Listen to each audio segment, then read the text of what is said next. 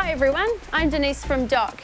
Today I'm going to show you how to earn a Toyota Kiwi Guardian medal for becoming a pest detective by making a tracking tunnel. A tracking tunnel is easy to make and it records what is living in your backyard. In the bush, DOC rangers use tracking tunnels to record where small animals pass through. Pests run through the tunnel to get the bait and leave their footprints on the paper. The footprints show where the animals are and what they feed on. Here we have the items we need to make the tracking tunnels. Two large milk bottles, sponge, scissors or a craft knife, piece of wood, red food colouring. Now you can use peanut butter or a piece of meat, wire, piece of paper and black polythene.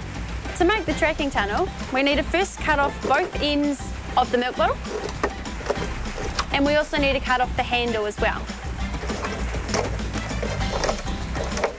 Once you've cut off the ends of the milk bottle, we slot the two together. The piece of wood is used to keep the tunnel flat, so we just slot it in there. Next, the sponge. We'll use the piece of plastic from the bottom of the milk bottle, cover it in food colouring. Now we need the white paper.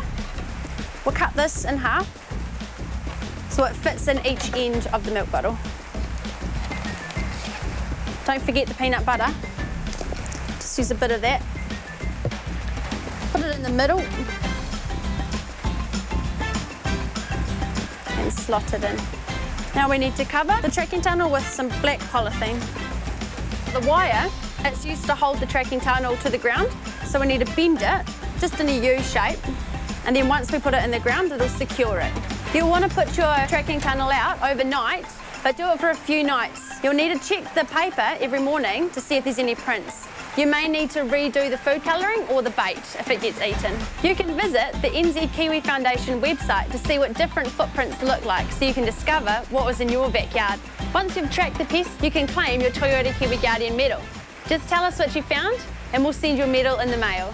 Have fun, see you later.